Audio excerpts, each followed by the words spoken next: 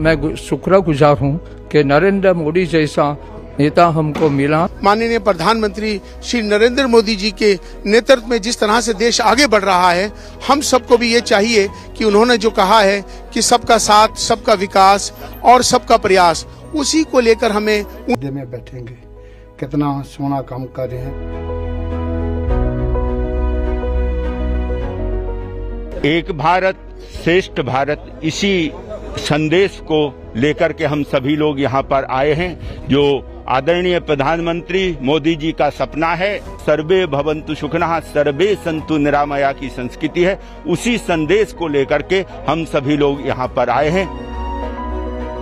जो भारतीय संविधान है और जो भारतीय संस्कृति है, वो विविधता में एकता है।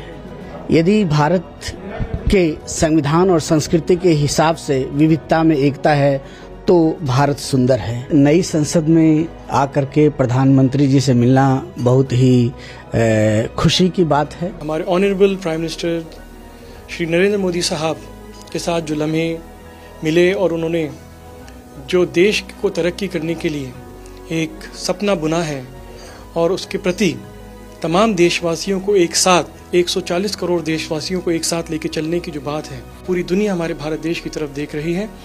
ऐसी स्ट्रॉन्ग लीडरशिप के साथ। हम जहाँ भी जाए, जिस सिंध भी जाए, हमारे देश की कामयाबी, तरक्की का हिस्सा बने, ये दुआएँ हैं अजमेर दरगाह शरीफ से।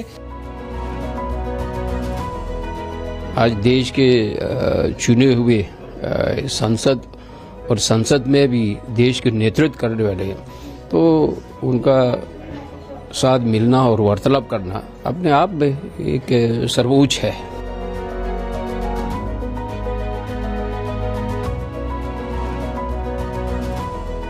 आदरणीय मोदी जी से भेंट हुआ और एक नया संदेश है, भारत में एकजुट होकर सभी धर्म, सभी संप्रदाय नए भारत का निर्माण करने में लगे हैं। उसी में साधु संतों का जो सहयोग है, उनका भी जो संदेश है, वो यही है, आओ मिलकर चलें और इस भारत को उन्नत भारत बनाएँ।